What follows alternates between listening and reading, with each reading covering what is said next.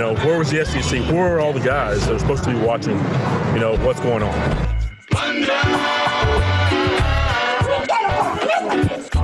hundreds of billions of dollars. You said billions. I said billions, not millions, from the pockets of the poor to people who are far better positioned than their so-called victims. So you're you're creating a crime scene and you're creating the crime.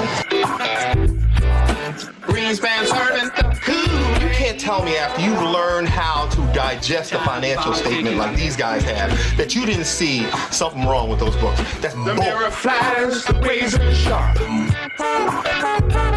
On the company jet, tooting up the tar.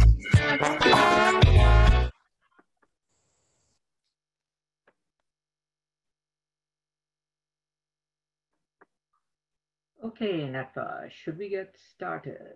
Yeah, let's do that. Um, welcome everyone. Welcome to welcome to Power Plunder, the Pandemic and Protests. This is one of the um, IPS webinar series um, entitled Progressive Politics in the Time of COVID. In the, in the time of pandemic, sorry, progressive politics in the time of pandemic, and we have um, a couple of or three, you know, because I'm going to include my colleague Justin, um, very great uh, panelists that be that are going to talk to us today about what's happening, and just let me give some little preliminaries before I introduce my colleague Basav Sen. Uh, that we uh, do have about, as you saw, may have seen in the running slides, that we have about three more of these uh, scheduled, and they run every consecutive Thursday at 11:30. The next one is Essential Immigrants during the um, during the corona. Um, actually, we changed the name of that. I think it was Border. We did. I'm sorry about that. Um, uh, the, the name of it is Border Borders in Moments of Crisis. And then the following Thursday will be Coronavirus Authoritarianism and the Far Right. And then on July 30th, the next third, the last Thursday, the last one scheduled, we have why we need to save the, the postal service. Many people don't know that the postal service is in danger of, of being uh, uh, eliminated and maybe privatized. So um, please join us for that. We have the, uh, for all of them, one of our IPS experts will be um, will be a part of it. They may not, they're going to do what they can to also bring in other people to help them, other experts and other people that they work in that are not necessarily IPSers, but are doing incredible work on the issues that are the topics that are being covered. Um, and they're going to make it there as much as possible, make the presentations multimedia presentations. Registration is required for all of them. So please register on the links provided on the page. And when you pass the word and spread the word and help us spread the word, uh, you should um, let people know to, to register for them. Um, on more information on all the sessions are on the IPS website, ips-dc.org slash events. I'll take the link and I'll put it, um, the link that has just the, our events and put it in the chat so people can have that. Um, and then um, and that's I think that's it. So so I'm going to, without further ado, hand it over to uh, my colleague Basav Sen, who's the director of a climate policy project at the Institute for Policy Studies. He's the one that put this fantastic uh, this fantastic webinar together, and he's going to introduce his um, his other co uh, panelists, co presenters. Basif joined the Institute for Policy Studies as the Climate Justice Director in February. Uh, 2017, but he's been in the movement for quite a while, doing some great stuff. We knew each other even before he came to IPS. His work focuses on climate solutions at the national, state, and local level that address racial, economic, gender, and other forms of inequality. And so, without further ado, I'm going to turn it over to, to my colleague Basav. Um, hi, uh, welcome everyone to uh, uh, today's webinar, which as Netfa pointed out, is part of a series of webinars we are doing over the summer. Uh, and um, for any of you who are not familiar with IPS, just a few brief words about IPS. Uh, we are uh, one of the oldest progressive multi-issue think tanks in the country dating back to the 1960s. And uh, we were founded specifically to uh, uh, push back against the war in Vietnam, but our founders realized very quickly that you cannot do that without also focusing on racial justice and economic justice and a host of other issues. You cannot treat any one issue in isolation uh, because all of our oppressive systems intersect.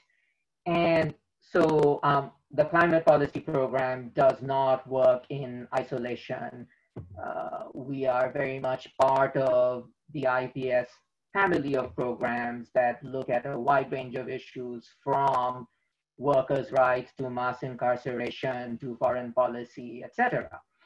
Uh, and um, the climate policy project also works in very close partnership with a number of other organizations. And I have uh, uh, invited two of my amazing colleagues and comrades to be my co-presenters today. And I will uh, very briefly introduce them both.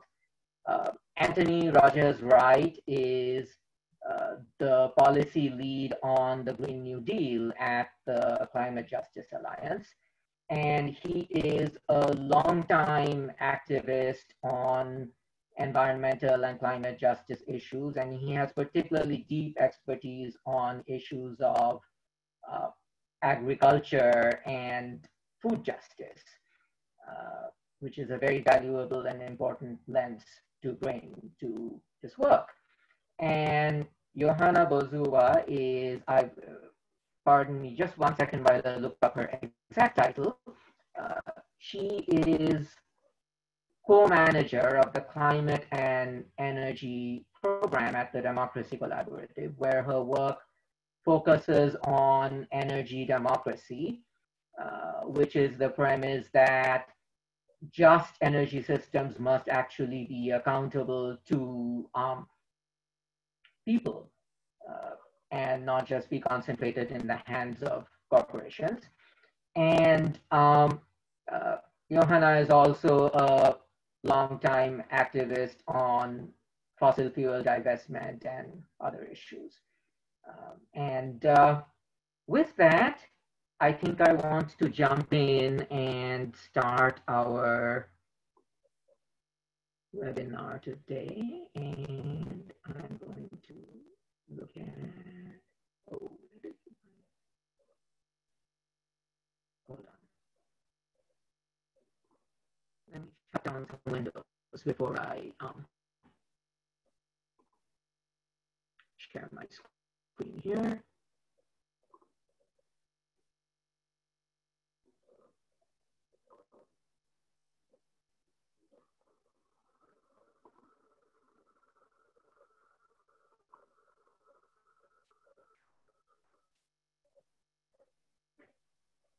Okay. Um, uh, hopefully everyone can view my screen. Um, if not, uh, if not, please uh, put a note in the chat. And um, so these are our presenters, as you'll see. And first, we're going to very briefly cover uh, the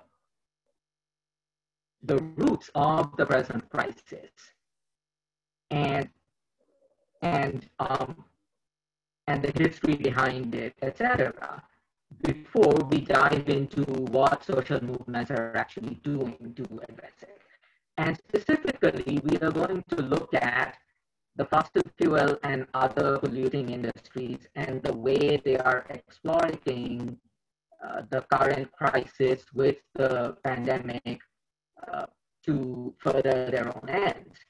Um, and um, then look at what social movements are doing to fight back against that power grab in particular, but against these industries more broadly. So with that, uh, many of you may be aware of the fact that um, uh, fossil fuel industries are facing a big economic crisis right now. Oil prices have fallen to historic lows, and at one point in April, even went negative, where oil producers had to actually pay people to take the oil off their hands. And along with the fall in oil prices, the share prices of publicly traded oil companies has also plummeted. Now, what's behind this? The oil and gas industry would want you to believe that it's because of the pandemic and it's because, you know, as all economic sectors have suffered in the pandemic, so has oil and gas. But that's only a very small part of the story.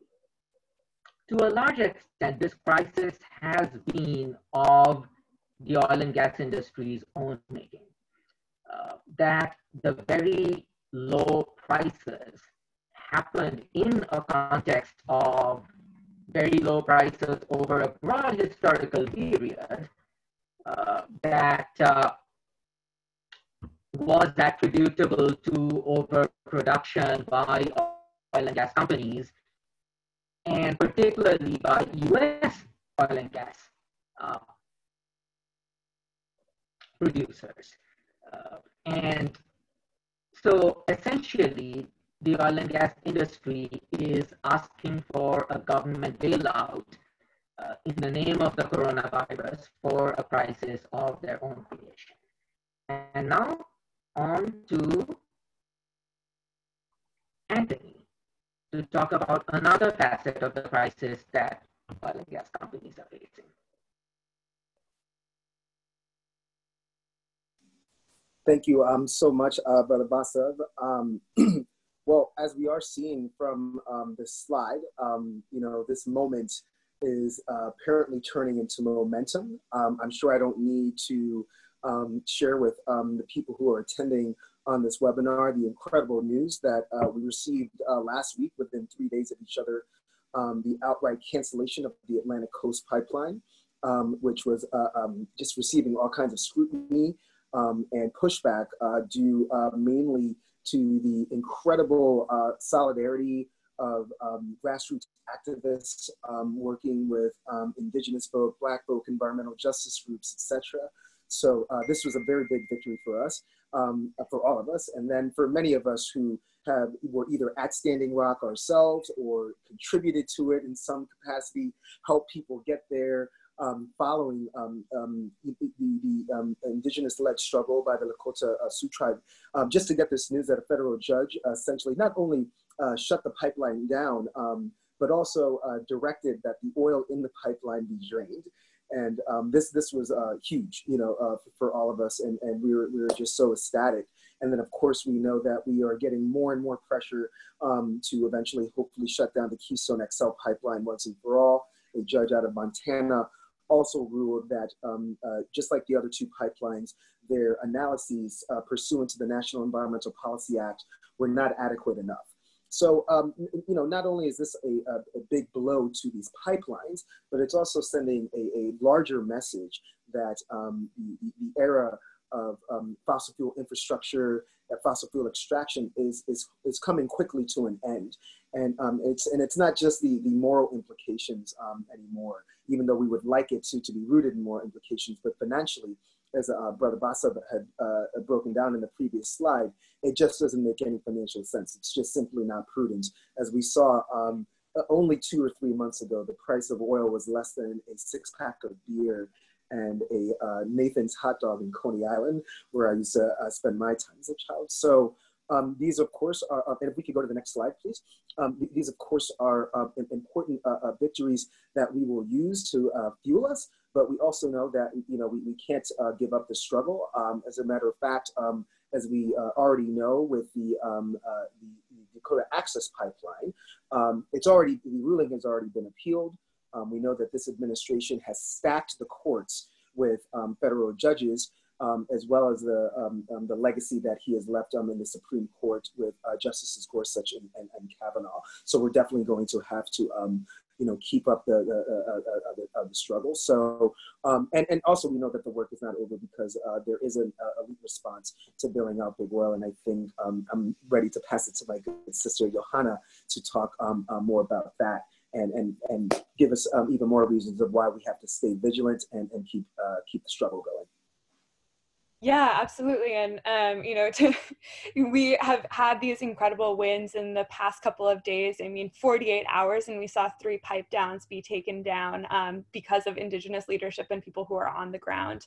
Um, at the same time, we are fighting continually, uh, particularly because the elite response to the current crisis and um, to their fossil fuel friends, um, you know, in their ear, they have been working to bail out the fossil fuel industry. Already, um, an analysis by Documented shows that uh, fossil fuel companies have received three billion at the least in U.S. COVID-19 aid, um, and they're getting this through a range of different strategies. It has been um, a concerted effort to make sure that they apply or uh, to these different uh, lending facilities, both in the Federal Reserve, in the Small Business Administration, and other um, strategies that uh, for investment that are being deployed right now.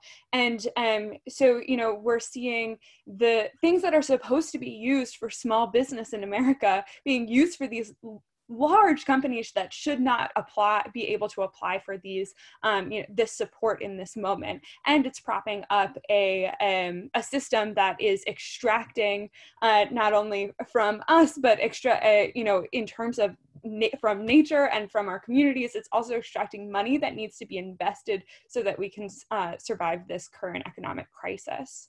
Um, and so if we go to the next slide um, this is exactly what the shock doctrine is that you know uh, naomi klein talks about a lot. We are seeing um, as she says extreme corporate opportunism right now and that's coming in the uh, form of a bailout but it's not only just you know in money monetary uh, terms. It's also coming in uh, regulations and deregulation that we we see time and time again in these moments of crisis. So for instance um, fossil fuel companies have been able to uh, start putting out what what is called winter fuel, which is dirtier fuel that increases smog um, during the summer. Which um, this is in the moment in which we have COVID nineteen happening that ha- has respiratory implications. So we are just making people sicker through these types of um, de- deregulation components, and that is like part and parcel to the shock doctrine.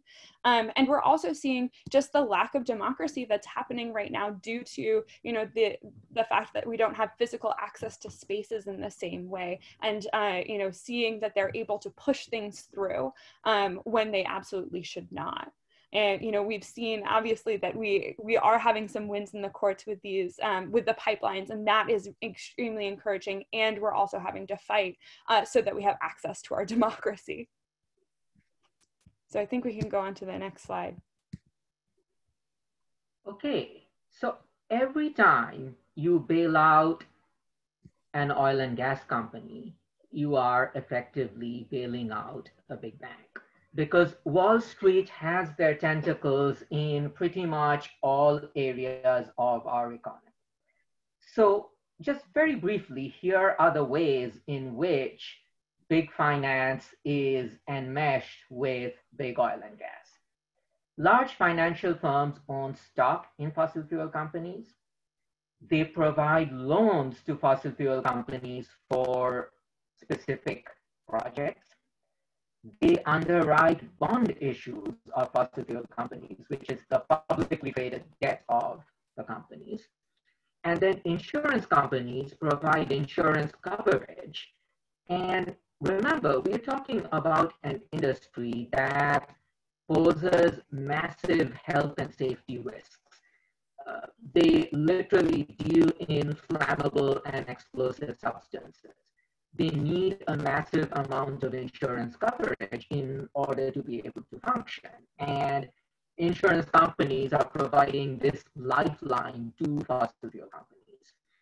And just to give you an idea of the scale, 35 large banks have provided 2.7 trillion in fossil fuel lending in just the last four years since the Paris Agreement went into effect. In other words, since there was broad global knowledge of the need to take action on climate change quickly. Even since then, they pumped all this money in.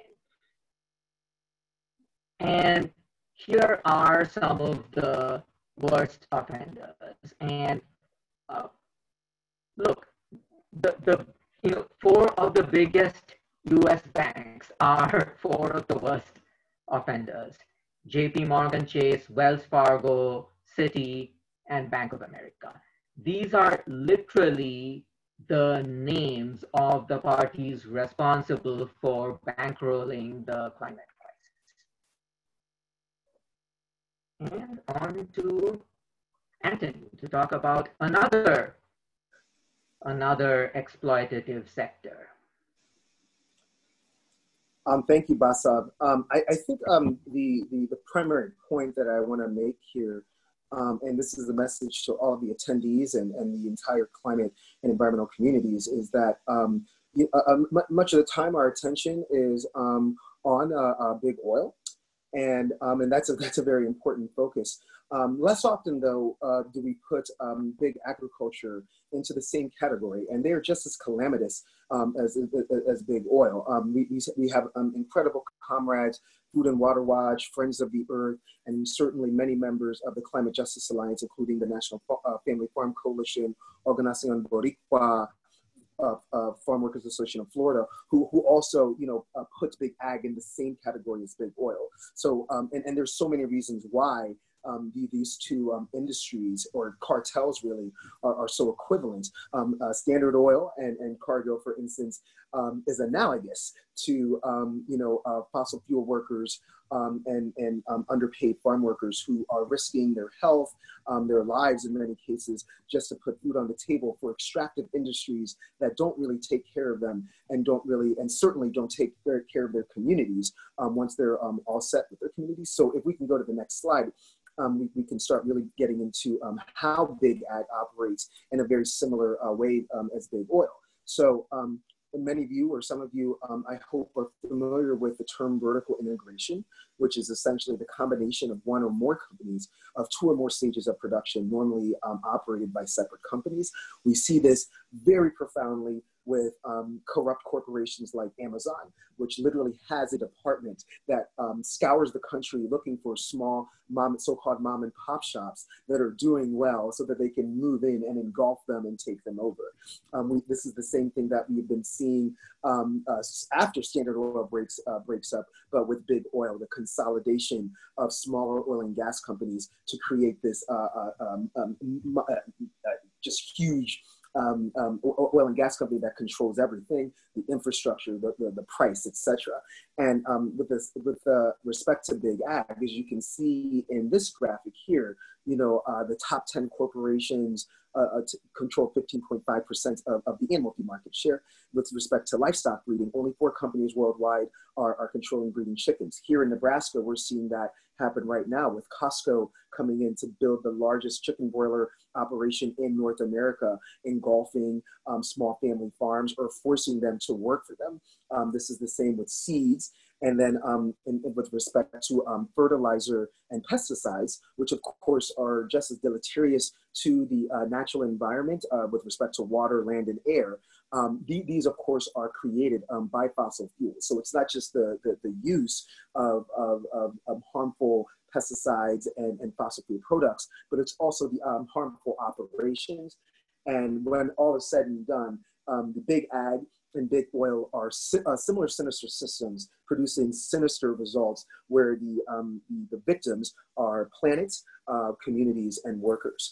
And if we go on to the uh, next slide, please um, we, we can tie it to this moment. So a familiar trend and um, what I, I, believe Johanna will get to even more is as we're in this um, age of the bailout with the stimulus packages, um, the same thing that we're seeing that um, happening with oil and gas has been happening um, with um, the way that we've been doling out aid uh, to farmers. Of course, we know that the combination of uh, this administration's tariffs, as well as just in general, uh, the way small family farms are, are being treated, this has been um, this the throughout the length of this administration has been a perilous time for farmers. Here in Nebraska, it's anticipated that this year alone, two in five farms uh, will either go bankrupt or they will be forced to sell to uh, multinational corporations. So the $16 billion in aid that the Trump administration doled out, we know that the top one tenth of recipients received the majority of all payments. Um, one farm in particular, the, the Line Farm uh, uh, Partnership um, out in Charleston, Missouri, so far themselves has received 2.8 uh, uh, uh, million dollars, and then the top 1% of recipients of trade relief, on average, um, are receiving close to $200,000, where the bottom 80% received less than 5,000. So um, as you see, as we're saving big oil, we're also saving big ag.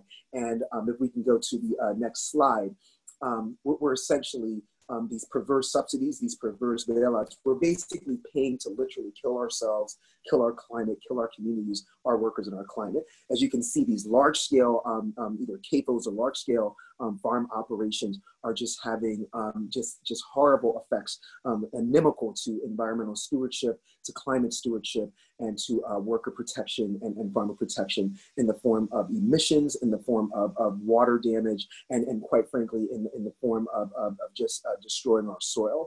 By some estimations, um, uh, by some uh, uh, uh, land scientists, if we continue the big ag model of industrial farming, we may have less than 45 to 50 harvests left. That means only 50 more years of, of producing food. And then we also know like the domino effect of what that can lead to. We've seen it in Syria, we've seen it in, um, in Africa. And um, if we don't get our act together and really uh, treat big ag uh, the same way that we are uh, uh putting our attention to big oil, we can find ourselves in real trouble. The good news is, is that we're not taking this lying down. Um, so I'm going to pass it to the next panelists to talk about what we are doing as a movement, what we are doing as a community to fight back so that we can continue to get more wins like we did uh, last week. Okay, Johanna, you're next. Yeah, so as as Anthony said, we aren't taking any of this laying down, and um, there has been just a, an incredible and overwhelming amount of work that's been done to like do the watchdog um, like work that is necessary so that we can follow how this is being done and then um, take action. So um, one uh, very clear example of um, you know where we are starting to identify how we can fight back at a federal level was the Rewind Act that was introduced by Senator Merkley and Representative Barragan um, that said absolutely none of the CARES Act should be going to um, to support fossil fuels. There needs to be a ban on um, you know drilling in the time of COVID nineteen because of all of the public health effects, and this is a, it basically signaling this is a dying industry. It is a it is also a exploitative industry, and it is um, you know it is going to hurt our public health. This is not something we need to be investing in. We need to be investing in workers and communities, and this is not representative. So um, I think that there's just been, um, you know, a huge amount of vigilance and um, uprising when it has come to like fighting against these types of bailouts that are happening. If we go to the next slide. Um, thank you, Oil Change International, for all of your uh, helpful um, pieces of information. But I wanted to talk a little bit about, you know, we're seeing these bailouts right now, but like bailouts actually are happening constantly in the United States and internationally for fossil fuel companies. And this is uh, you know subsidies have continued to be condemned and are becoming much more mainstreamed as something that needs to be eliminated immediately. Because what this is continuing to do is giving um, you know uh, this the social um, it, it enables the fossil fuel companies to continue to extract on our lands and hurt our fa uh, families and also is funding climate denial as this said right here with our um, our investment as the people. Um, so this is something that has, you know, we are seeing in um, dynamics of, you know, the presidential races that we've seen, um, and you know, more people coming into Congress that are fighting against these subsidies, and it's being really mainstreamed in a way I think that uh, we didn't see a couple years ago, even, um, and that's to um, because of the great work of activists that have been uh, fighting against this kind of big piece and like federal funding continually of fossil fuel industries.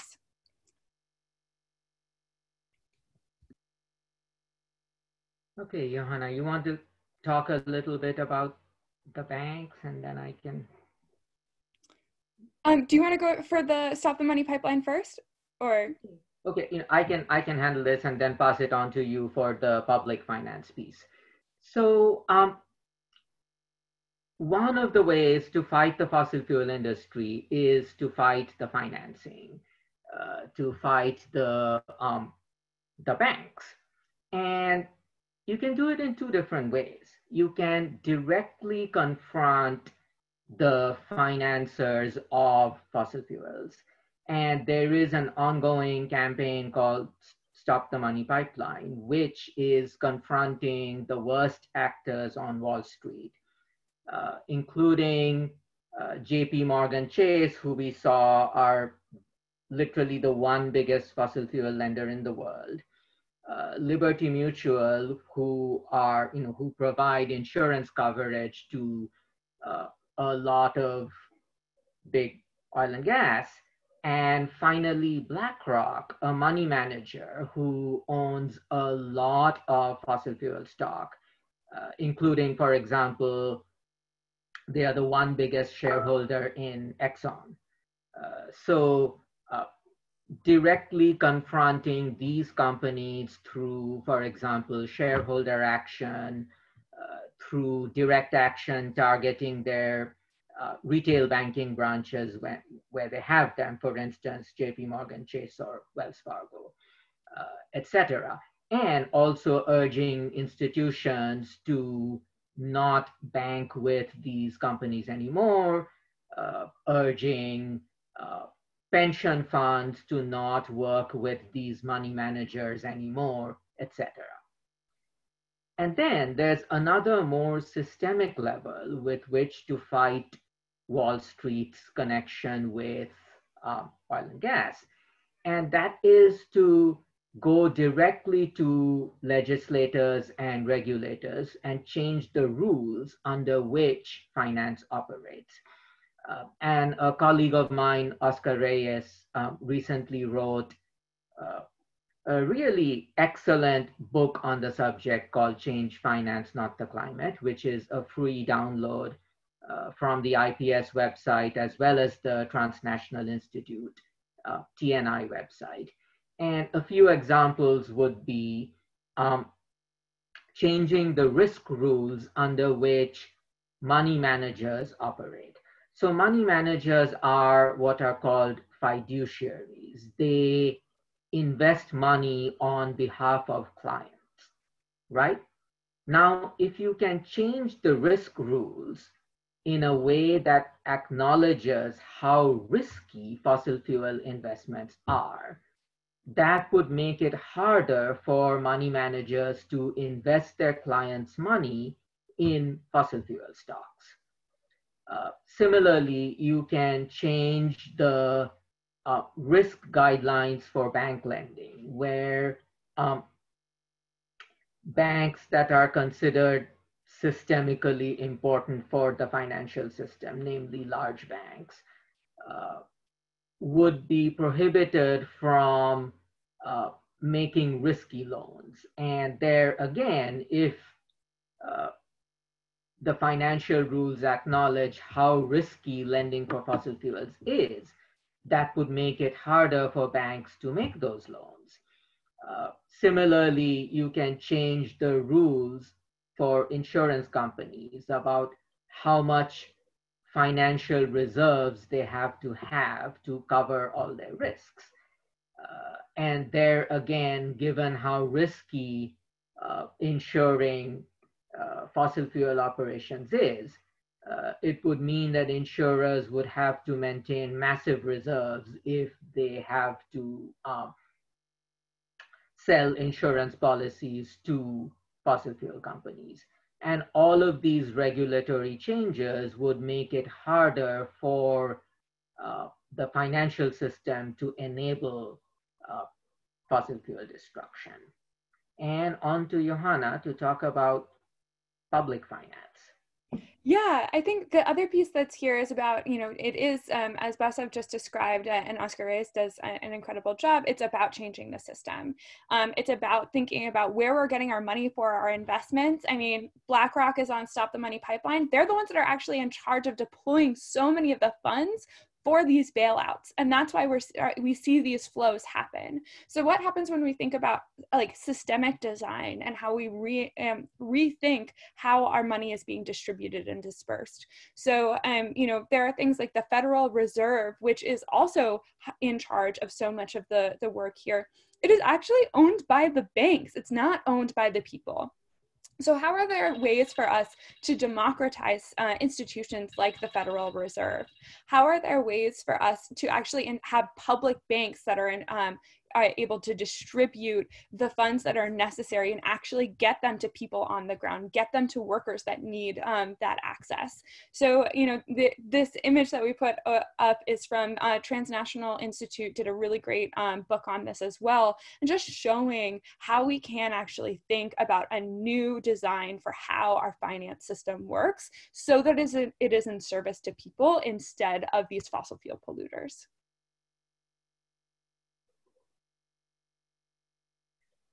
Okay, Anthony, on to you.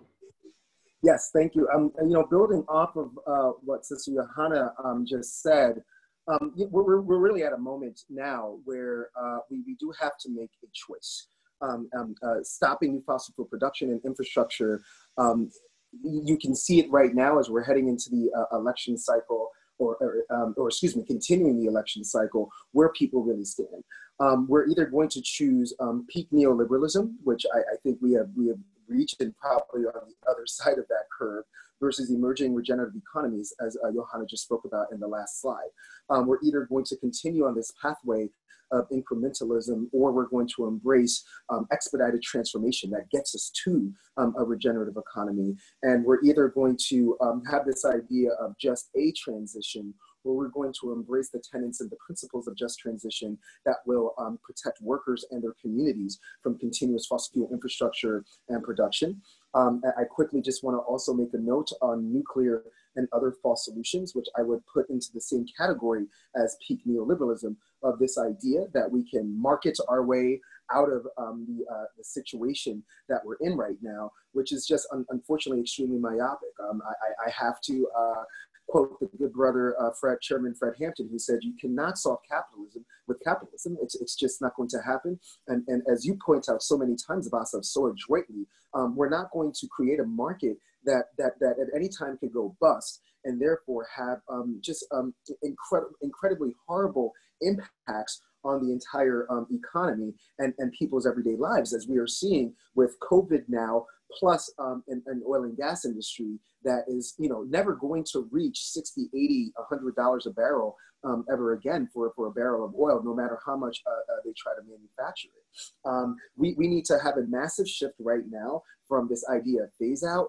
to interdiction. And, and, and that means it's not just federal lands and um, um, it's not just, um, you know, uh, uh, we'll, we'll cut down the leasing in, in the Gulf of Me uh, Mexico, where we have um, the production of some of the most horrendous sacrifice zones, including Cancer Alley, um, in the entire country. The United Houma Nation losing their land, uh, the Biloxi Chitimacha um, Choctaw tribe, the first federally recognized climate migrants due to fossil fuel infrastructure and fossil fuel production. Uh, also, what I want to say is, is that it's very important for us to think of CAFOs and big agricultural practices as themselves fossil fuel infrastructure, uh, not just because of the emissions, but because of what's in their systems, what's in their uh, um, their loops, which includes fossil fuel um, uh, uh, uh products and whatnot. Um, we are seeing some some very good things though.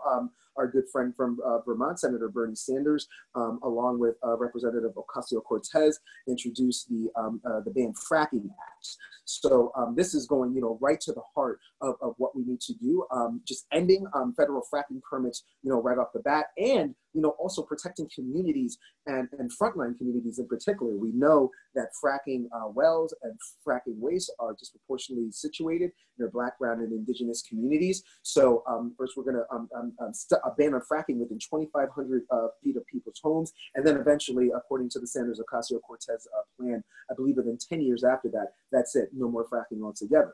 This idea that CAFOs themselves are fossil fuel infrastructure, we're very happy to see uh, Senator Warren and Senator Booker team up to uh, release the Farm System Reform Act to phase out large, concentrated animal feeding uh, uh um, operations or CAFOs. This is particularly important because um, I believe it was two years ago, uh, you know, in one of Paul Ryan's, uh, former Speaker Paul Ryan's last acts of, of infamy, um, um, the, the, tax plan that he passed, that, um, that, that huge um, omnibus bill, included a provision by uh, uh Senator Deb Fischer of Nebraska to uh, remove uh, the requirement for CAFOs to report their air quality emissions. And, and this includes really nasty stuff um, that, that has um, adverse impacts on respiratory systems systems um, on, on young people. So um, this idea of, of removing CAFOs altogether will automatically have um, benefits to our air, our land, and our water, which of course are all very important in this fight uh, uh, for climate change.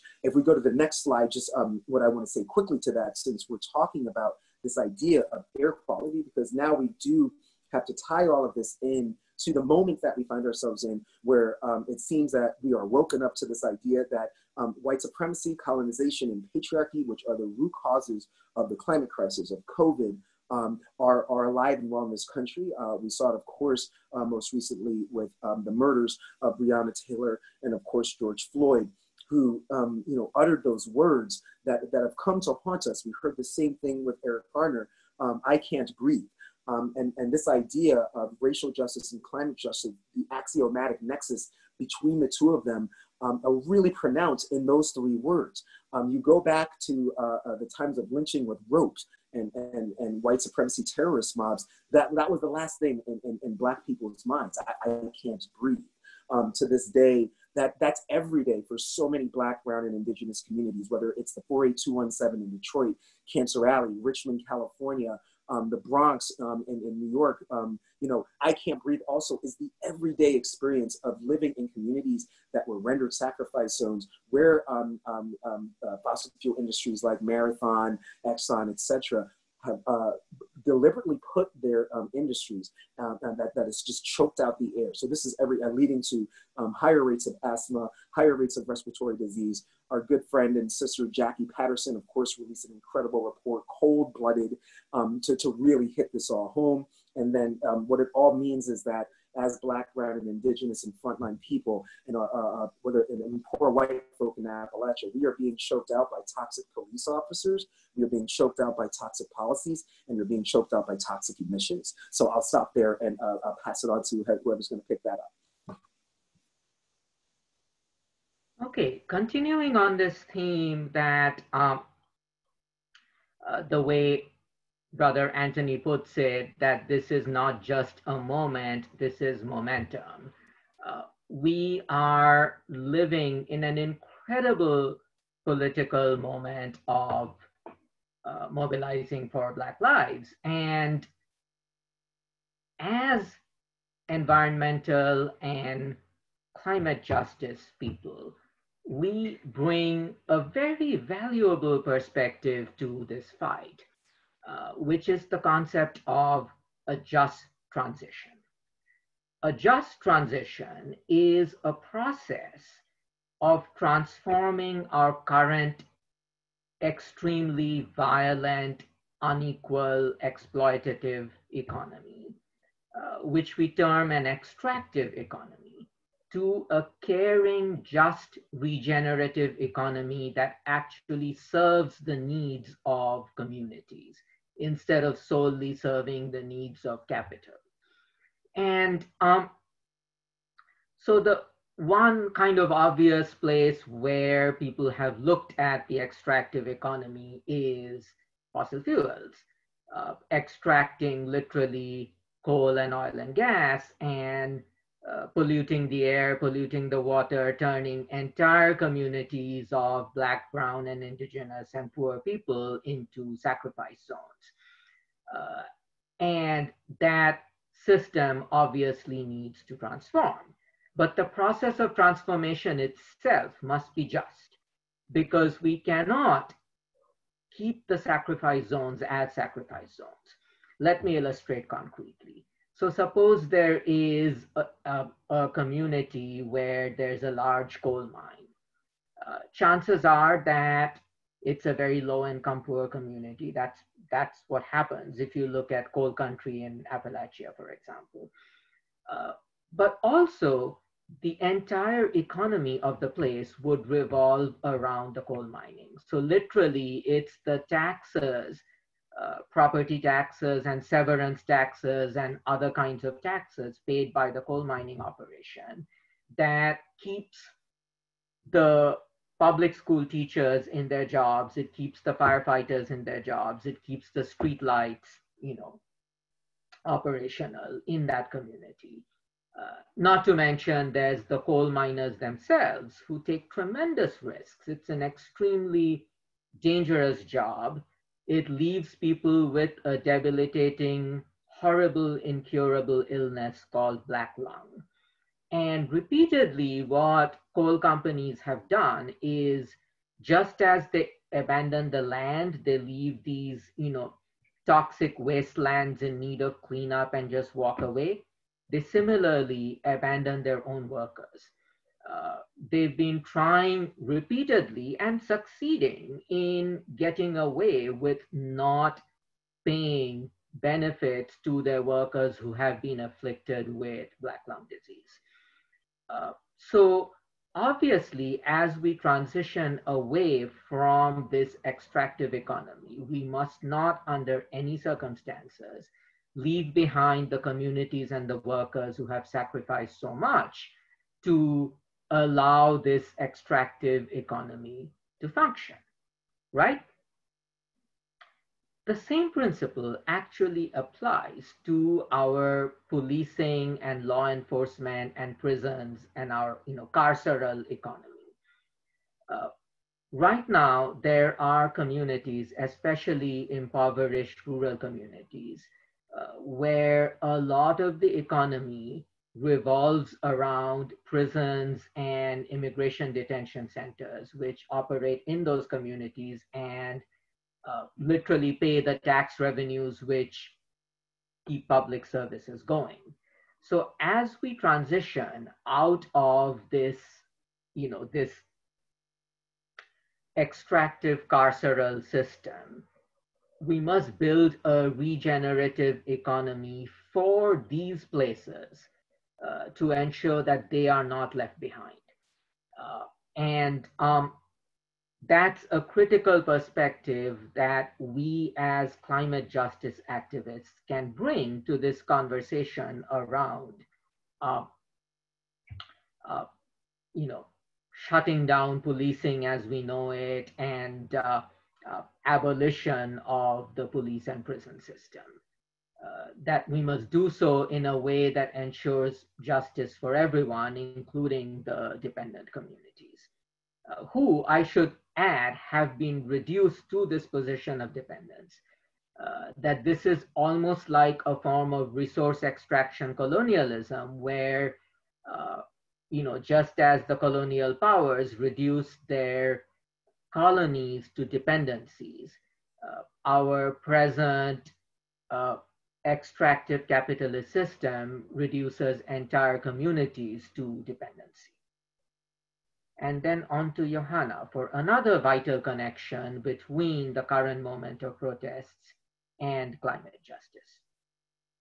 Yeah, absolutely. So um, th- thank you. And, and this uh, really, as has already been described, there are so many, we are operating, have to operate at the, the nexus of racial justice and climate justice. And um, another very clear example of why, as um, climate activists, we need to be mobilizing for abolition of um, police is the fact that our, our allies on the front lines are experiencing police terror um, in many of of the same ways. Um, if we look to um, Standing Rock, uh, an indigenous led uh, community that was fighting against um, Dakota Access Pipeline, they were, um, you know, there was extreme militarization in those spaces. And there has been a continued militarization um, of police around protest in order to quell us. And it is in, um, and they are working for the corporations at the end of the day instead uh, instead of any kind of benefit for the people And so uh, we see through this the um, the relationship between the corporatization and uh, police militarism as well. And um, we in places where we see infrastructure being built, we are also seeing um, the criminalization of protest. Um, we've seen uh, bills now uh, against protest in places where uh, we have uh, where there's critical infrastructure, including Kentucky, West Virginia, and North Dakota. Uh, so you know the police abolition has to be part and parcel to the calls for action that we're putting together, uh, putting out together as climate justice advocates. And just to add to that, thank you so much, Johanna. Um, uh, as we are getting more and more of these victories, um, you know, there is going to be pushback, right? Um, it, it, reminds me of uh, the the scene from um, the Two Towers, Lord of the Rings, where Gandalf is uh, saying Sauron's retribution will be swift, his you know his wrath will be will be uh, uh, uh, vengeful and whatnot, and um, and we're already seeing it with local, state, um, and even federal laws um, that were designed largely in part to intimidate uh, Black Lives Matter activists and their allies and um, um, uh, water protectors. Um, for instance, um, and, and it's not just uh, the GOP, by the way, and it's important to understand that. In, in 2018, um, uh, the, the, Democratic House uh, uh, passed the what was known as the Protect and Serve Act, which was also referred to as the Blue Lives Matter bill. Um, and it included uh, vote yay votes by progressive champions, people who we love, um, like uh, former Congressman Keith Ellison, um, uh, uh, Representative Raul Grijalva, who just released the Environmental Justice for All Act, um, Beto O'Rourke, um, um, all voted yes for, for, for this bill, which um, essentially uh, would uh, increase prison time for Black Lives Matter um, and uh, um, um, water protectors fighting pipelines. So we, we have to remain vigilant, not just at the infrastructure um, itself, but at the policy infrastructure that is meant to um, um, increase intimidation and therefore try to keep people home instead of in the streets. And we've already seen, by the way, uh, what happens when we have principled struggle in the streets, whether um, it's news from Minneapolis about not just defunding, but disbanding the police altogether. Um, even um, neoliberal mayors like uh, uh, um, Mayor London Breed in um, um, San Francisco announcing all kinds of incredible transformations to the police department there. 150 to 250 million dollars removed from the uh, police budget of Los Angeles and reinvested into black and brown communities. Um, there's going to be pushback for that, so um, we have to uh, remain vigilant about that and hold our lawmakers at all level of government um, um accountable. And this is why it's really important that we support the platform of Movement for Black Lives and um, the most recent um, release, uh, Breathe Act, by um, our good congressional allies, uh, Rashida Tlaib and um, Ayanna Pressley. So um, yeah, I'll, I'll, stop there. But but just to say that um, you, you, know the, the more that uh, we get in the streets, the, the more they're going to uh, try to um, keep us out of the streets, and uh, you know we just can't let that happen.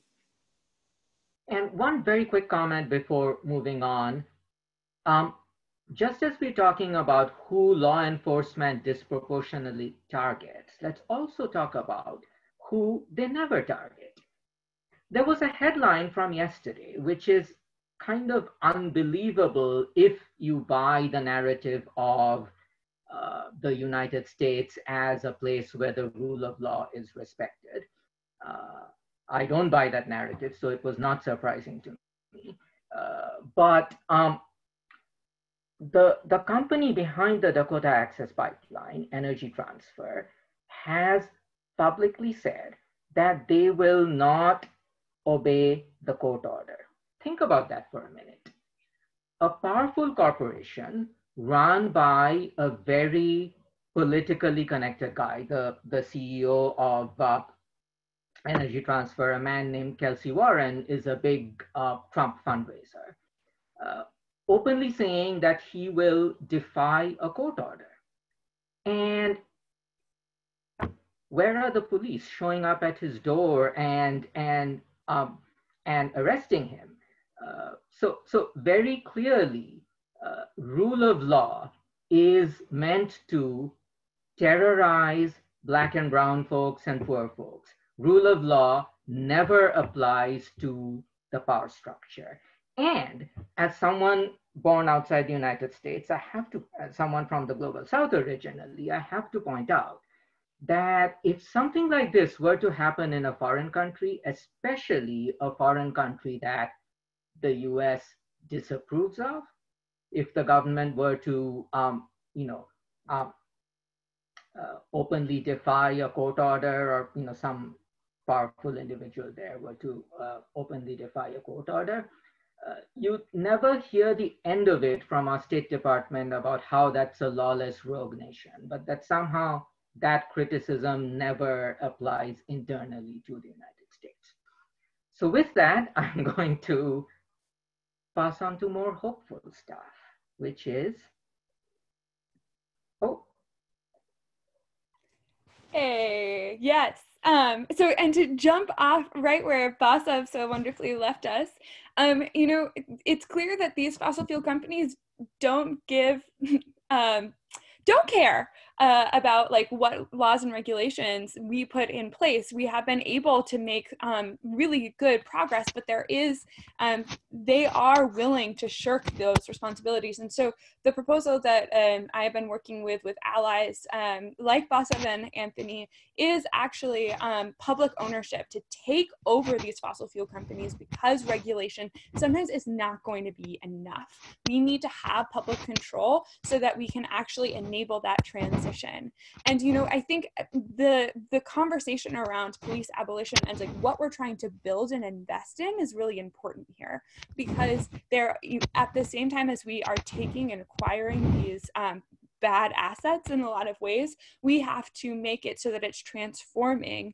and um, it is investing in communities and in workers so that we actually get a transformative just um, just transition instead of as anthony's slide said a little bit uh, later just a transition um, which we are setting ourselves up for right now. So if we go to the next slide um, yeah yes no no no your problem. No problem. Um, you know, it's really about um, making sure that justice is enabled in um, in a transition, and so um, that is why we have said, you know what, it for workers and communities actually enabling public uh, ownership uh, instead of doing these bailouts you know we could bu- we could have bought these things so long ago with the amount of money we put through to them via subsidies and these bailouts we should actually have the ownership as a, as communities that are suffering the consequences of these bad actions and be able to do the managed phase out that we deserve on the timeline that we need. Um, and so you know this this doesn't mean that it has to be a you know a top down approach because that doesn't align um, with what our communities need. This needs to be acquisition but then um, providing the opportunity and space for um, community control of that um, that future as well and seeing the planning as something that's building from the local level and going up. So um, you know wanted to leave on that um, kind of a, the note of promise of that there are different ways for us to do this and there are new forms of you know abolition and uh, investment in that that new future. Um, so yes i'll uh, i'll hand it back over to uh, basav and anthony. I just wanted to add uh, to that incredible point johanna that um, you know when we're talking about community control we're also talking about decentralization. So that applies to our food systems. Um, we know that, like, you know, when the, when the power is put back in the hands of the people, when they are allowed to make the uh, decisions that uh, are best for their communities, um, that is when they're actually empowered. So, um, you know, the future of food systems is decentralized, um, smaller, locally grown, um, locally organized, locally controlled food systems. And the same goes um, with our energy systems um, as well. Um, we, we don't need like massive, huge grids that we're shipping oil and gas to and coal to um, when we can create these incredible microgrids um, right in our own communities. And the thing about it is we're seeing examples of um, so-called energy democracy, which I know you're a big proponent of, Johanna, and our good sister um, um, um, Denise, um, who, who is, is just so incredible with this. But in Puerto Rico right now, we're, we're seeing uh, microgrid systems um, in the middle of the mountains, and it's working incredibly. Um, in Brooklyn, New York, where um, my mentor and the venerable and le uh, legendary Elizabeth Yeampierre of Uprose Brooklyn you know, created the first community uh, solar project for one of the poorest uh, communities in, in, in BK, um, as I like to call it. So they haven't gentrified everything yet in Brooklyn. And um, the areas that, that, that are, that are maintaining their black, brown, um, Asian, um, um, and indigenous roots are, are, are, doing the work. So um, this is why um, at CJA we like to say it's not just that another world is possible, but another world is actually happening. And on that note, very quickly, I want to observe that let's not kid ourselves into thinking that renewable energy in and of itself is a magic solution to climate change. Yes, obviously, we need solar energy, we need wind energy. But at the same time, we have to think about who owns that energy and who benefits from it. Uh, do we want to move over from an energy system controlled by giant corporations like Exxon to an energy system controlled by giant corporations like Tesla? And I believe the answer is a resounding no. So with that, I think we can open up for questions and answers, but um, before that, I want to say a huge thank you to uh, Anthony and Johanna for being able to join for this webinar today. And uh, your, you know, your participation was so meaningful. Uh, and thank you to everyone who joined us online today. And um, uh, just a little word for everyone is you can enter your questions uh, in the Q&A. Um, there's a uh, Q&A feature and you can enter your questions there. And there's one very specific procedural question that um, I want to answer, which is uh, uh, people have asked for a copy of the presentation and um, absolutely yes. And um, uh, I will work out how to make it available, like downloadable on the IPS website. Uh, so um, yeah, uh, the answer to that is yes. Um, and there's two specific questions from uh, Susan Bonney, uh, both excellent questions. One is, uh, who are some of the specific companies who have um, received um, uh, bailouts as part of this bailout process. And uh, kind of a part two of that question is about the Rewind Act. Uh, what are the legislative prospects? You know, how has what has its progress through committee looked like, and are there specific legislators people should be contacting to uh, support it? And uh, Johanna, you want to take it first? Yeah, I can take it first, and then maybe Anthony, you uh, might have some updates on the Rewind Act. Um, I just wanted to pull out one example. There are so many because, as we said, so many fossil fuel companies are getting this money. But Hallador um, Coal it, it is a company that has received um, quite a lot of money. I believe it's 10 million in small business loans uh, through this. And they are not a small business. They actually, in the past, had Scott Pruitt as a lobbyist. Um, and like that is why we are seeing this funnel of money going towards them. So I think that there are just a myriad examples of this happening and, um, you know, even happening for, for coal and, and um, as one of those. So it's really, uh, there, there are quite a few and there's actually some really good um, uh, people who are charting and figuring out like where the bailouts are going to and i'll drop those links in the chat where you can look um, right now and anthony you want to talk about the rewind act Yes, of course. Um, this was um, an, an, incredible piece of legislation that our good friend from Oregon, Senator Jeff Merkley, um, um, um put out. And you know, um, as, as all of you know, uh, the, the, the, state of our political climate, of course, um, uh, the Senate is controlled by um, our, our, not so good friend, um, uh, no lip Mitch McConnell. Um, we're going to have to push, you know, to, to get that bill actually onto the uh, Senate floor and out of committee. Um, if I'm not mistaken, that is Environment and Public Works.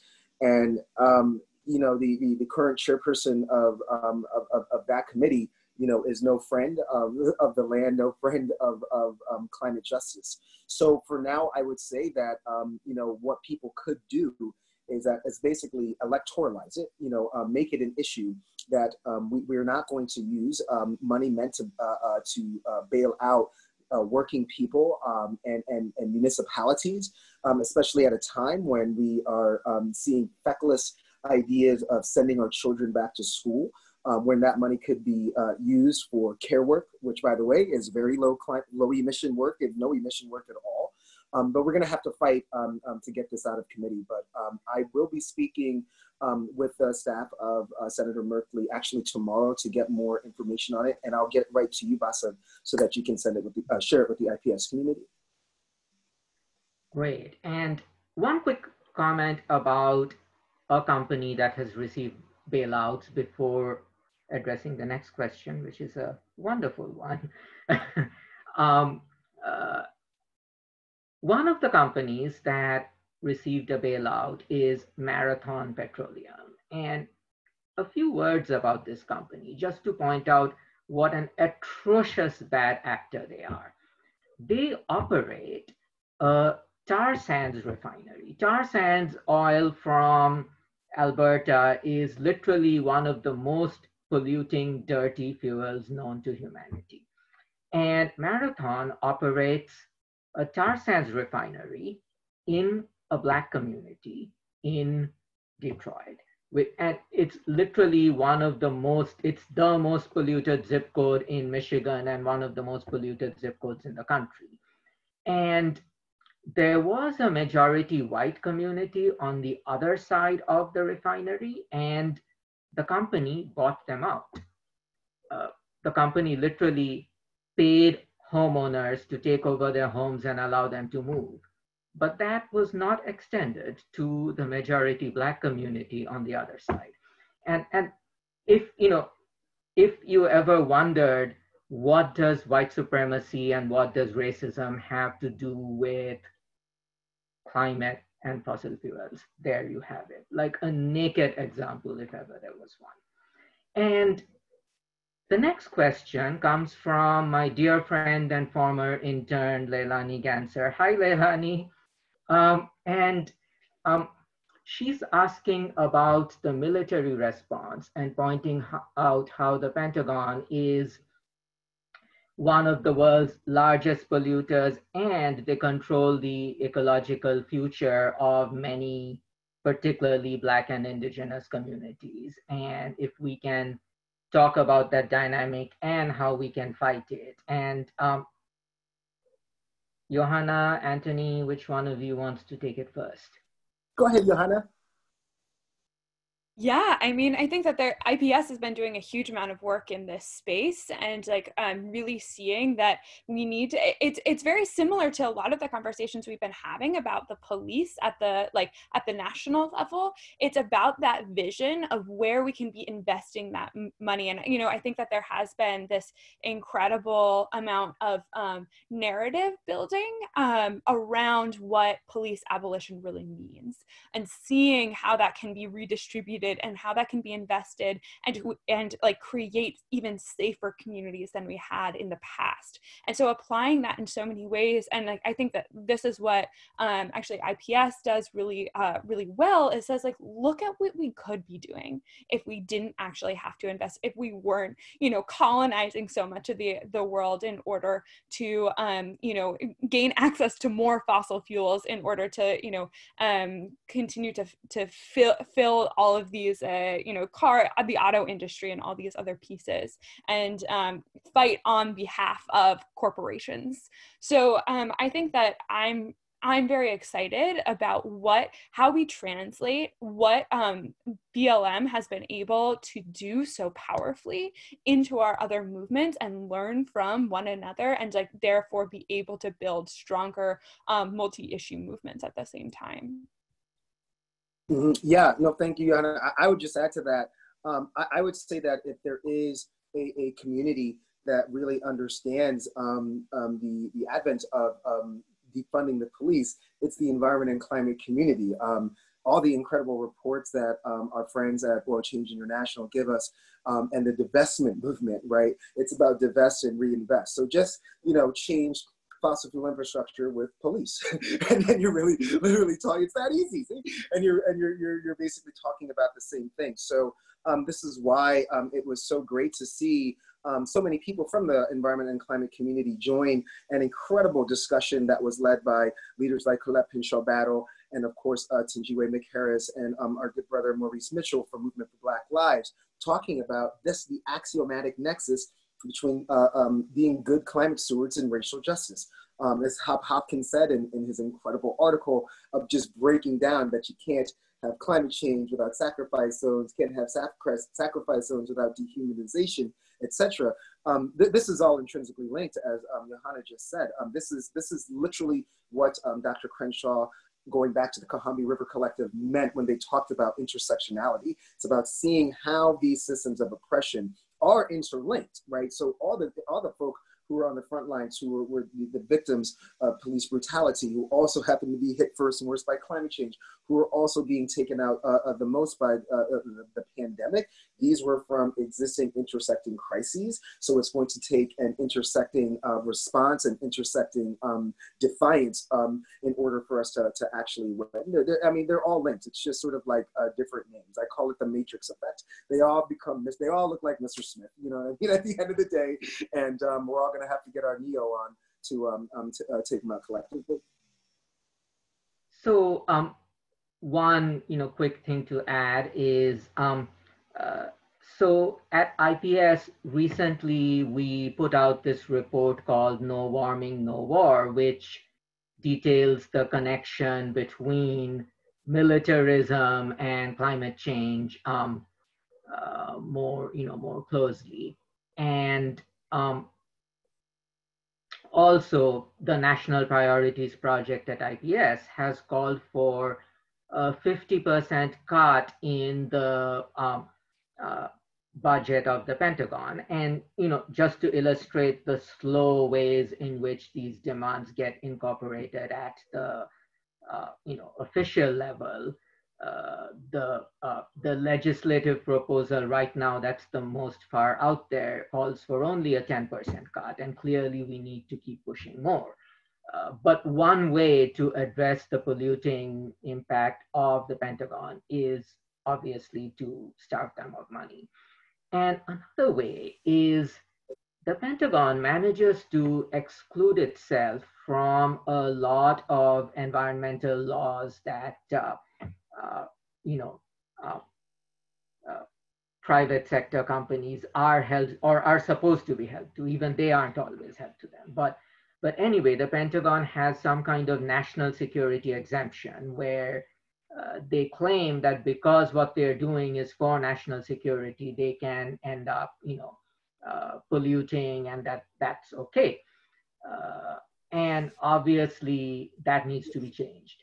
Uh, the Pentagon needs to be accountable for current and legacy pollution. For instance, military bases that have been closed down like decades back are still left with the uh, toxic legacy. An example being uh, the island of Vieques off the coast of Puerto Rico, where um, uh, the Navy used to operate an extremely toxic, horrible base, uh, which was closed down after you know decades of activism, but it's still left with its toxic legacy. Um, a really quick Basav, I, I did see um, a, a comments about uh, vigilantism by um, one of the um, attendees. And, and I guess what I would say to that is that in my mind, uh, the police uh, can be vigilantes too. It's called qualified immunity, or as I like to call it, qualified impunity. So um, I, I, think vigilantism is, is um, a, a, contextual aspect, and we have to be uh, uh, um, kind of careful, you know, with that because even uh, with what uh, uh, uh Bas, the example Basav just um, gave with legacy pollution um, and, and Vieques and, and, and AFRICOM leaving leg legacy pollution right now in the continent of Africa, to me that's vigilantism um, that that that like we, we just kind of like allow. So it, it, to me, it's all it's all it's all very very contextual. If a cop can can play judge, jury, and executioner um, and, and get away with it, that that to me is just vigilantism in a uniform.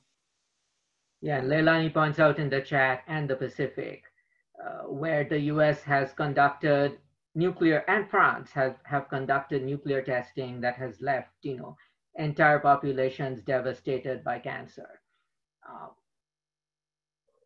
and um, there's another question about how to get these issues in the public schools. Uh, before answering it more hopefully, I have to point out that uh, the oil and gas industry and other polluting interests have a leg up on us. Uh, they literally have children's books about this character called Petro Pete.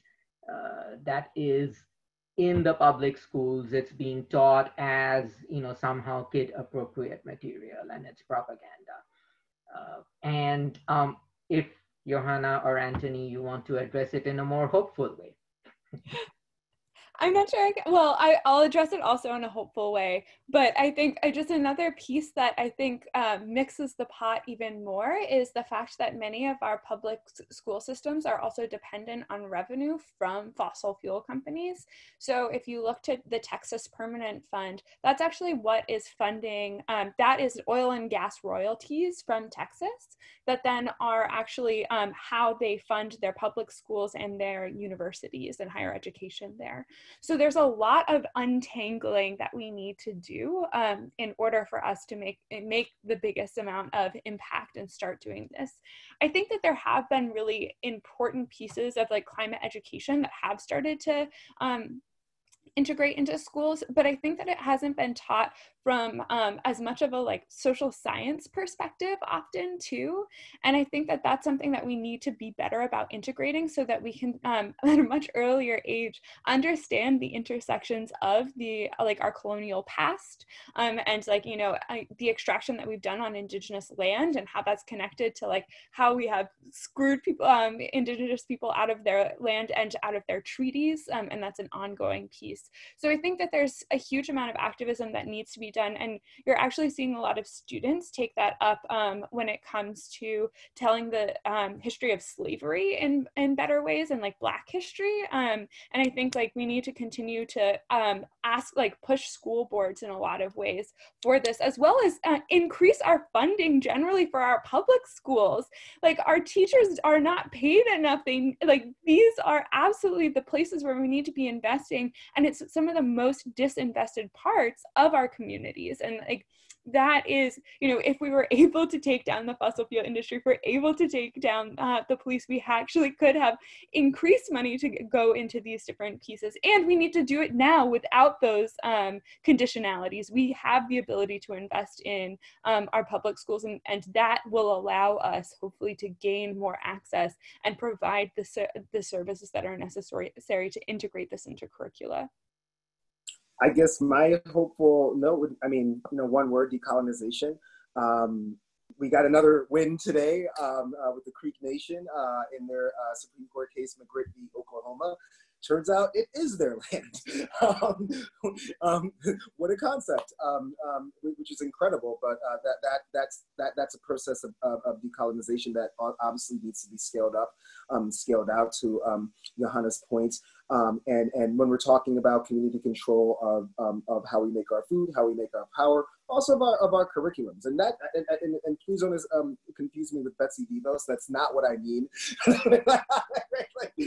I mean, they should get funded um, um, uh, for sure by um, you know in, in, a fair way. And of course we have to remove the idea that your zip code um, is going to de- uh, determine how good your public education is, is going to be. So um, but but but it, but it is hopeful. Um, I, I, don't know what uh, Neil Gorsuch ate for breakfast this morning but hopefully we can keep planting that and getting more decisions like these because it's, it's, it's really really important um, that that like you know we really shift. We have to take care of these communities. Um, again, just transition is, not asking a, uh, a, a, a pipeline worker who's making a hundred grand to take a forty thousand dollar pay cut. Basav and Johanna hear me tell this joke all the time. If the average nonprofit worker took a forty thousand dollar pay cut, their salary would be negative twenty thousand. So um, you, you, know we're, we're, we're not we're not into that. That would be just a transition. And the same goes for communities. There are communities in Wyoming that are literally 100% um, uh, tied to the fracking industry, their libraries, their schools, their roads. And um, if we take that industry out without having um, an alternative and ready to make them whole, and, and a plan to just show them that we're going to do that, we can't expect um, workers um, to really embrace the ideas of just transition. This is why I'm so um, thankful for incredible people like hopefully the next AFL-CIO president, uh, Sara Nelson, um, who, um, Johanna also knows, like, I, I just, I, I, can't get enough of, of, Sister Nelson, who says that we have to keep the promises that we've made today to workers today. And this is why we're talking about things like the Reclaim Act, things like the Rewind Act. We have to show those workers and those communities right now that uh, Big Coal's had their way with them. Big Coal is dying, um, and they're just gonna leave extracted communities. We're gonna make those workers whole. We're gonna uh, train them. We're gonna um, honor their pensions. And once we do that for those workers, that's how you build a movement, right? That's how we get those workers on our side so they can talk to rank and file and, and, and keep building that out. One quick thing I would add to that is um, a part of decolonization is deprivatization. And sometimes privatization is obvious, sometimes it's creeping privatization when you underfund your schools, you have effectively partially privatized them because you leave them dependent on private donors with agendas. So, you know, uh, you have this underfunded public school, typically in a community of color, in a low income community. And um, you have the oil and gas industry and other predatory industries coming in saying, hey, you know, we're doing charity, we're helping these schools out. And they brag about it too as part of their greenwashing. And they provide stuff like Petro Pete to, to these schools to try, try to indoctrinate kids who go to these schools to be their next generation of disposable workers exposed to safety risks exposed to pollutants, etc. That's their interest in the matter. So let me see if there's any other questions. Um, no more questions so far. Um, uh, just, you know, and ask to all the participants if you has, oh, okay. Uh, so someone asks, who has the primary obligation to educate their children? Uh, I would think the parents. Um, my response to that would be yes, of course, parents educate their children, but we have schools for a reason. Uh, we have schools because obviously parents who are working do not have the time and the resources and the energy to uh, fully educate their children. That's why schools exist uh, pretty much in most parts of the world. Uh, so obviously, regardless of what parents are or aren't doing, we need effective, just school systems that provide education, good, solid education. The quality of the education matters uh, as a matter of right to all children uh, without, you know, without discrimination based on the inequalities we see in our society because uh, that just keeps perpetuating the inequalities generation after generation sure. by not providing adequate education to uh, children from, um, you know, with less privilege. I would only add um, to that that uh, t- uh, school choice, in my opinion, is a Trojan horse to privatization. Um, that that's just clear. Um, it's it's many of these uh, so-called charter schools are funded by the fossil fuel industry, um, especially in places like Louisiana. Um, we talked about the shock doctrine earlier. Um, after Katrina, uh, the shock doctrine was utilized via disaster capitalism to create all of these charter schools. Um, that's not increasing literacy rates. That's not increasing um, um, the, the, quality of education. Of course, uh, Louisiana still ranks one of the lowest in, in, in public in education overall um, in, in, the United States of America. So, um, you know, I, I, I and, and I, I, reject the idea that it's like school choice because um, for many people, you don't have that choice if you're black or brown unless you can shoot, dunk, dribble, catch, and run fast. so they're basically selecting who of, of, of our community are worthy of, of an education or, or a leg up. Um, and that's creating more division um, instead of collective, uh, unified um, upliftment, which is what we're interested in. Um, um the, uh, yes, um, I, am a father of a, of a five-year-old. Um, you can be very, very sure that his mother and I are very, very invested in his education. His first book was A is for Activists in English and Spanish, so um, um, and whatnot. And he's going to meet people like Johanna and people like Basav. Um, you know, he will have the choice of, of, of, which one he wants to meet first. That that'll be the the, the, the school choice that he has. But we have to be careful because when when we uh, look at these charter schools, you know, who is actually funding them and why um, are, are, they funding them? A, a robust public education that that works for everybody um, scares the crap out of uh, out of governments that um, are into oligarchical um, systems of governance, um, and and yet we're seeing that in countries. And I'm not saying that there's an equivalency, but for some reason, a nation like Finland, which outlaws private schools um, has a higher literacy rate, higher people getting into STEM, um, et cetera, et cetera. So um, um, this idea that, that we need private schools, I understand that in some cases people might want to send their children. I, I myself am Jewish. I have no problem with people who want, who want to send their children to uh, Jewish schools, um, uh, people of Islam who want to send their uh, children to um, Islamic schools, and then even cooperative schools. There's uh, Black liberation schools and cultural schools. I'm all for that. Um, and and I, what I'm not for though is uh, people's tax dollars uh, being used uh, for uh, public schools that can make their own rules and not subjected to the same rules as public schools. That's that's very much in line again this intersectional lens with how the fossil fuel industry uh, believes that they can operate um, without rules with our tax money through perverse subsidies, as Johanna uh, pointed out earlier, how big ag can operate without impunity, without following the same rules with our tax dollars. Um, it's, so it's, it's all um, um, um the same system. Um, so that's, yeah, that's what I would say to that. So there's another question about, you know, a follow-up question about schools, but I would like to point out that this is not primarily a webinar about schools and education. You know, uh, we don't have a planned webinar on that. We may at some point in the future. Uh, I just want to bring it back to uh, particularly um, fossil fuels and big ag and climate justice because that's the main focus of what we are talking about today. And um, we have five more minutes, but I think we do have time for one more question if, you know, uh, anyone has a question about those subjects.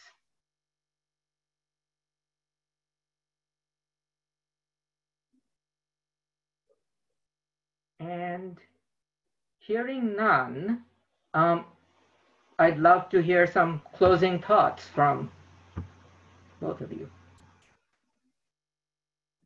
Um, I just wanted to say thank you for putting this together. I, I just want to like recognize how wonderful of an experience it is working with these two amazing allies. Like the fact that we get to really like bring to the forefront that like this it has to be an intersectional movement and like that we can think super differently like we don't have to stick with hegemony um, and we have more tools in our toolbox than i think we sometimes realize and like that's what i love about working with um, these folks on the phone basav and anthony like they're so down to think um, in these new like systemic ways that like get to the root of like the multiple crises that are hitting us right now and coming up with the the solutions that will serve our communities. And so um, just i love um, the opportunity to create visions with you all and um, excited for us to take down the fossil fuel industry and just generally the our oppressors That's right. Um, thank you, Johanna. Um, I would say my uh, closing remarks would uh, just really be as we're in this election season to uh, remind all the folks who are attending to please pay attention to um, local and state level um, elections. Um, we can move so much incredible stuff there. Um, the New York Renews um, Act being a perfect example of that. We're seeing, um, you know, uh, Green New Deal resolutions being passed in cities like Seattle, um, public banking being passed in, in, in California, AB 857. Um, so we, we and, um, um, and, and then most recently in Seattle, um, the $200 million Amazon tax or, or, or, tax on big businesses. Portland, the 1% tax on, on big businesses, which will be reinvested into just transition um, um, projects. So you can make a lot of change there. In Albuquerque, New Mexico, five progressive women ran as a slate to basically overtake um, problematic Democrats. Four out of five of them won, which I would say is a takeover. The one sister who lost only lost by two or three points. So um, there's a lot of power um, in local. Um, and when we forget about that, that is how we get state governments taken over by um, just just really draconian people, which leads to bathroom uh, uh, uh, um, anti-trans uh, bills, which leads to um, anti-women's uh, uh, choice bills, and and even bills that allow a state to tell a local community, no, you can't ban fracking. So there's a lot of power um, in local, um, and I, would just beseech people to please um, keep very vigilant about that and to take part in that process as well my last closing comment would be, you know, Anthony mentioned how uh, he's the parent of a five-year-old, and I likewise am the parent of a 12-year-old, and she's about to turn 13. Ah. but you know, children have imagination, right? That's that's one of the characteristics of kids is they, that they have a fertile imagination, and we encourage them to have that then why is it that we grown-ups often lack imagination? I would argue that one of the most powerful tools at our disposal as humans is our imagination. And by imagining big things, we can start building the seeds of revolutionary political movements. Uh, you know, if we limit our imagination to what elites tell us we can or cannot do, we are bound to fail. And it's only by imagining big, transformative, revolutionary changes that we can start working for them and winning them. And um, thank you again to everyone who joined this webinar and huge thank you to uh, Anthony and Johanna for uh, being co-presenters with me and to Netfa and Justin and the rest of the team at IPS for making this possible. And bye everyone. Thank you. Have a good rest of your afternoon. Thank you. Thanks to the full IPS staff for putting this on. It's been wonderful. Bye everyone. See you. Bye.